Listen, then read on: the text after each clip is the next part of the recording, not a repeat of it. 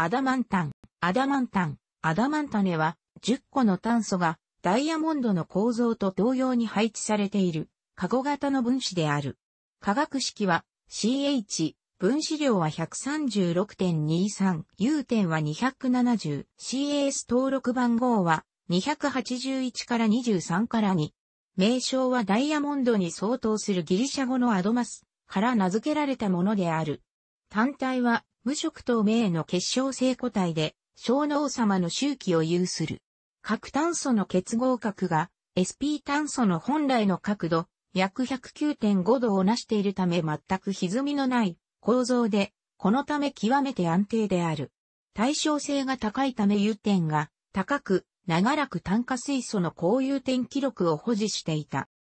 1933年、チェコスロバキア産の原油から発見された。発見前の1924年にはデッカーにより存在の可能性が示唆されており、彼はこの物質をデカテルペン、デカターピンと呼んでいた。ジシクロペンタジエンから合成され、アダマンタン誘導体は、フォトレジストや医薬品などの用途がある。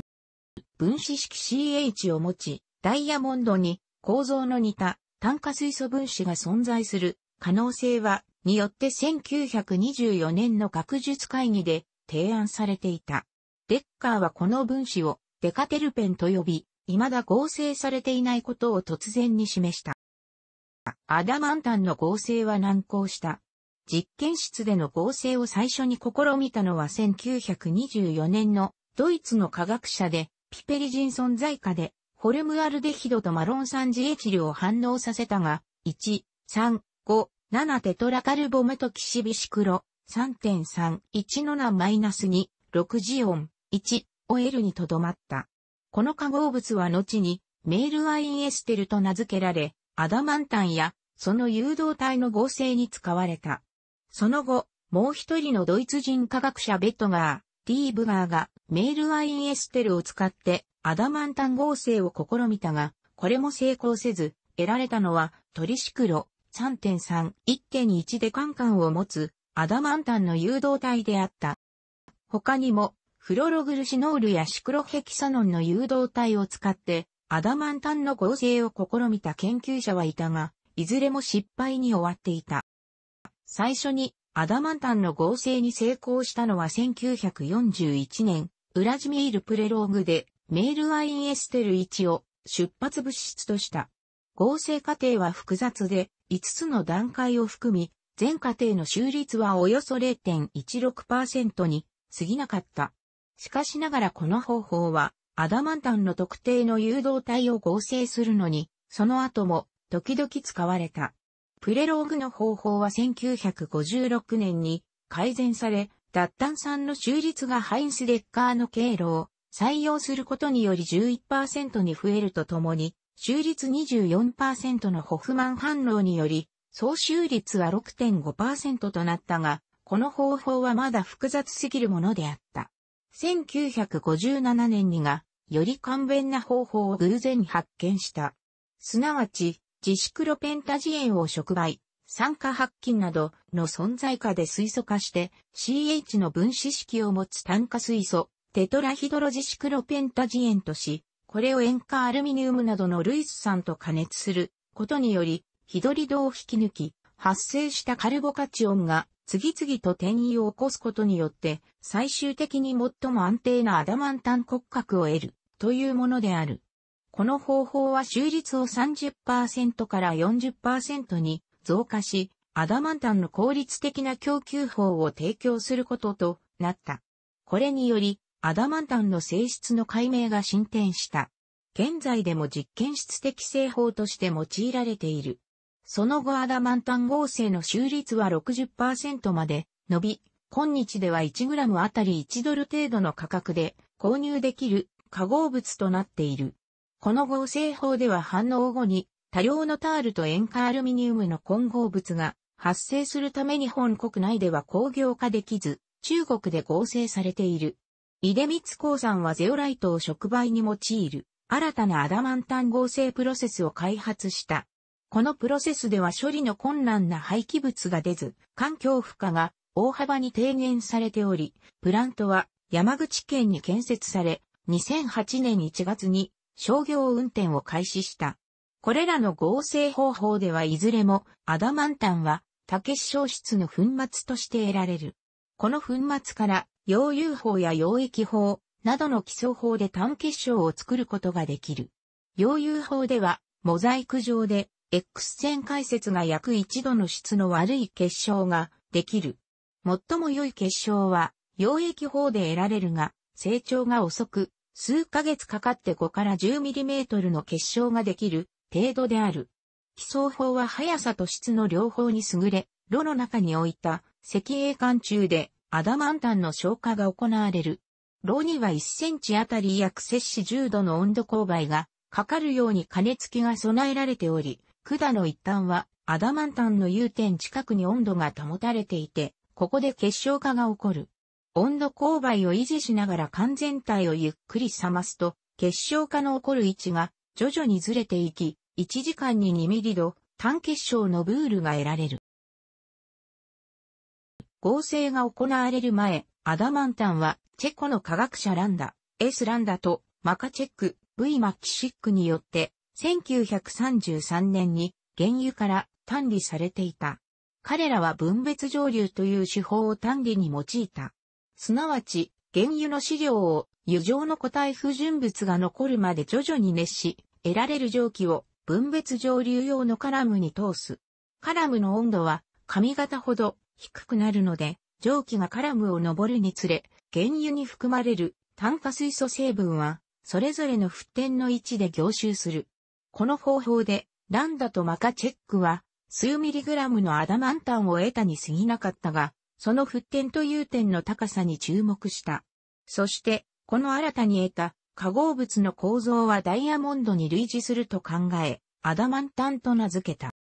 現在のところ、原油が唯一の天然に存在するアダマンタン源である。含有量は油田によって異なるが0.0001%から0.03%であり、商業製造には少なすぎる。アダマンタンの他に原油中には30種類以上のアダマンタン誘導体が含まれる。原油は炭化水素などの複雑な混合物であるが、これらの誘導体は融点が高く、水蒸気蒸留ができ、安定な地を尿素負荷物を作るため、分離することが可能である。純粋なアダマンタンは無色の結晶で小脳のような匂いを持つ。水にはほとんど溶けないが、非極性の有機溶媒によく溶ける。融点は炭化水素としては非常に高い摂氏270度である。同じ分子量の炭化水素の融点は、カンフェン摂氏45度、リモネン摂氏74度、オシメン摂氏50度、テルピネン摂氏60度、ツイスタン摂氏164度、直差状のデカンは引く、摂氏28度である。しかし、アダマンタンは室温においてもゆっくりと消化する。アダマンタンは水蒸気蒸留することができる。アダマンタン分子は3つの椅子型シクロヘキサン管からなる。分子構造の数値は電子線解説や X 線結晶構造解析で決定されている。炭素炭素結合調は 154pm でダイヤモンドとほぼ等しい。炭素水素結合調は 111.2pm である。結晶は通常の条件では免震立方合子構造をとり、空間群は FM3 メートルで A イコール9.426プラスマイナス0.008単位格子中に4個の分子を含む。分子の向きは結晶中でバラバラである。208K まで冷やすか0.5ギガパスカル以上の圧力をかけると耐震性縫合子構造となり A イコール6.641 C イコール8.875単位格子中には2個の分子が含まれる。この相転位は、速度論的に一時であり、熱容量のアノマリー、変差や弾性などの性質を伴う。特に、免震立方合子構造では、分子が自由に回転するのに対し、耐震性方合子構造では、向きが固定化される。密度は1.08から1.18グラム、センチメートルまで段階的に増加し、エントロピー変化は大きく 1594J、モル系である。アダマンタンの弾性定数は数センチ程度の大きな結晶で超音波へ工法により測定されている。弾性テンソル C の値は結晶面110、111、100についてそれぞれ7.52、8.20、6.17ギガパスカルと求められている。ダイヤモンドでの対応する値はそれぞれ1161、1174、1123ギガパスカルである。アダマンタンとダイヤモンドでは炭素原子の位置は同じだが、アダマンタンの場合はダイヤモンドのように共有結合で格子が固定されておらず、ファンデルワールス力により結びついているに過ぎないため、アダマンタンの結晶は柔らかく可塑性を持つ。各磁気共鳴、NMR スペクトルでは1位と2位に対応する分離の悪い2本のシグナルを示す。10クロロホルム中の HNMR は 1.756ppm と 1.873ppm に、CNMR は 28.46ppm と 37.85ppm にピークを示すで見ることができる。アダマンタンの NMR スペクトルの単純さは純度を示す良い指標となる。すなわち、置換器を持つ誘導体は対称性が低いため、スペクトルはより複雑になる。質量分析では、アダマンタンや誘導体は CH イオンに対応するメートル Z イコール136に特徴的なピークを示す。解列によりメートル Z イコール93、80、79、67、41、39にフラグメントイオンのピークが現れる。赤外分光では分子の対称性が高いためスペクトルが単純である。もし、アダマンタンの各頂点にそれぞれ異なる置換器があると、分子はキラルとなり光学活性を持つ。ビフェニルの例と同じく、キラル中心は特定の炭素原子ではない。1969年に実際に4種の異なる置換器、水素原子、臭素原子、メチル元、カルボキシル元を持つアダマンタンが合成されている。非線高度は小さく、普通は1度以下である。系統的命名法に従えば、トリシクロ3.3、1.1デカンとなるが、アダマンタンが優先 IUPAC 名、ピンである。アダマンタン分子は炭素原子と水素原子のみからなり、T の対称性を持つ。分子中の16個の水素と10個の炭素は、2種の位置、1位、4箇所、か2位、6箇所のどちらかに必ず属すことになる。構造が近い化合物に CH が1個少ないノルアダマンタンや1個多いホモアダマンタンがある。普通、シグマ結合、単結合だけを持つ炭化水素は科学的に不活性だが、アダマンタンやその誘導体は反応性が高く、特にカルボカチオンを中間体として含むイオン反応を起こしやすい。アダマンチルイオン、アダマンタンのカチオンは1フルオロアダマンタンを5、フッカーアンチモン SBF と反応させることにより生成する。これは通常の酸球イオンなどの他のカルボカチオンよりも安定性が高い。アダマンタンの自家チオンは超酸の溶液中で発生させることができ、3次元方向属性のため高い安定性を持つ。反応はほとんどの場合、炭素原子が3範囲である1位で起こる。2範囲である2位は反応性が低い。2位での反応として、アダマンタンと濃硫酸の反応によるアダマンタノンの合成が知られている。アダマンタノンのカルボニル元はさらに反応させることができる。例えば、アダマンタノンはにアダマンタンカルボニトリルやにメチルアダマンタンの原料となる。アダマンタンは臭素分子のような臭素化試薬と容易に反応する。生成物の組成や比率は反応の条件、特に触媒によって変化する。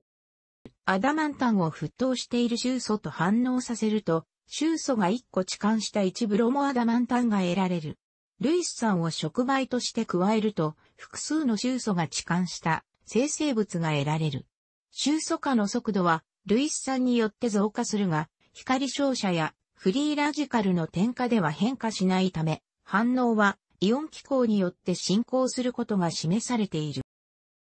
アダマンタンのフッ素化は、当初1ヒドロキシアダマンタンや1アミノアダマンタンを出発物質として用いていた。後にアダマンタンそのものからの合成も成功している。これらの合成では反応はアダマンタンのカチオンの生成とそれに対するフッ素吸核剤の結合という過程を経る。アダマンタンとフッ素ガスの直接反応によるフッ素化も報告されている。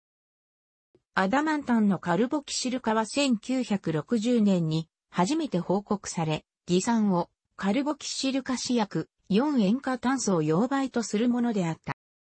アダマンチルイオンを発生させるため、タート、ブチルアルコールと硫酸を加える。次に、軽中で偽酸と硫酸から発生した一酸化炭素がこれと反応し、カルボキシル化が起こる。1アダマンタンカルボン酸の収率は56%から61%である。最も単純なアダマンタンのアルコール体である1、ヒドロキシアダマンタンは、含水アセトン中での1ブロモアダマンタンの加水分解により容易に得られる。オゾンとの反応でアダマンタンから直接合成することもできる。アダマンタンは、ルイス酸の存在下に、ベンゼンとフリーデルクラフツ反応を起こす。方向属地換気を持つアダマンタン誘導体は、1ヒドロキシアダマンタンを原料として容易に得られる。特にアニソールとの反応は、触媒を必要とせずに進行する。アダマンタンのニトロ化は、収率の高くない難しい反応である。窒素原子が置換した医薬品であるアマンタジンの合成では、第一段階でアダマンタンに臭素分子、または硝酸を反応させ、1位が臭素原子、またはニトロエステルで置換された生成物を得る。これらの化合物をアセトニトリルと反応させると、アセトアミド体ができ、これを加水分解することで、アマンタジン、1アミノアダンタンが得られる。アダマンタンそのものは、官能元を持たない炭化水素に過ぎないため、用途は多くないが、ドライエッチングのマスクやポリマーの配合剤として利用される。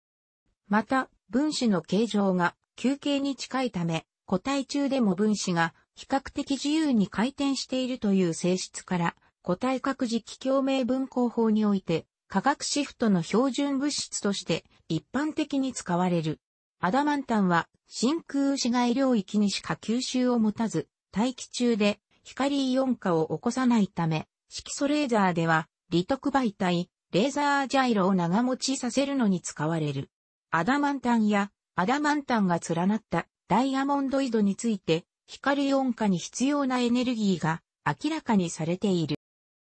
アダマンタン誘導体は高い耐熱性、透明性、耐薬品性、潤滑性などの得意な性質を有するため様々な用途での利用が試みられてきた。特にアーフ液島レーザーリソグラフィーのフォトレジスト材料として高い性能を示すことから、にアダマンタロンなどのアダマンタン誘導体から合成される観光性樹脂の需要が拡大している。この市場では、出光鉱産が約70%のシェアを有しているとされる、出光鉱産推計。アダマンタンについて医学的な用途は知られていないが、誘導体は医薬品となっている。最初に利用されたのはアマンタジンで、まず1967年にインフルエンザに効果がある抗ウイルス薬、そしてパーキンソン病の治療薬として認められた。医薬品として他にメマンチン、ビマンタジン、ドーパマンチン、トロマンタジン、ビルダグリプチン、カルマンタジンなどがある。アダマンタンを含むポリマーで抗 HIV 薬として特許が取得されているものがある。アダマンタンのアルキル化体には圧力モーターの作業流体として使われているものがある。アダマンタンを骨格とするポリマーはタッチパネルの被覆材への利用が検討されており、アダマンタンや同族体はナノテクノロジーへの応用が期待されている。例えば、固体アダマンタンの持つ柔軟なカゴ状構造は、ゲスト分子を取り込むことができるため、人体に取り込ませた後構造を壊すことにより、取り込まれた分子を放出させるという機能を持たせることができる。官能元としては、アダマンチル元、略号アドと呼ばれ、安価に入手できる傘高い官能元として、カルベンの安定化などに用いられている。アダマンタンと同様なカゴ状構造を持つ分子として、三酸化にリンポ、三酸化にヒ素アソ、五酸化にリン、ポー、五硫化にリン、PSS、ヘキサメチレンテトラミン N、CH2 がある。テトラメチレンジスルホテトラミンは、人に対する毒性が非常に高いため各国で使用が禁止されている殺素剤であるが、中国で違法に使用され、中毒事故がたびたび起きている。アダマンタンのケイ素類塩体であるシラーダマンタンが2005年に合成されている。天然に産するアダマンタン類塩体としては、有機ヒ素化合物であるアルセニシン A 茶素が挙げられる。この化合物はニューカレドニアに生息する海面から発見された。